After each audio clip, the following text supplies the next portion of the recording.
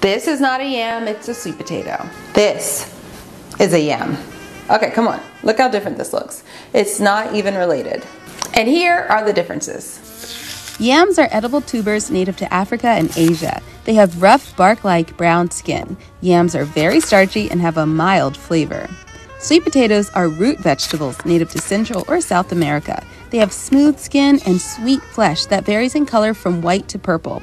So you can keep calling sweet potatoes yams all you want, but just remember that this is a true yam. They're not the same thing.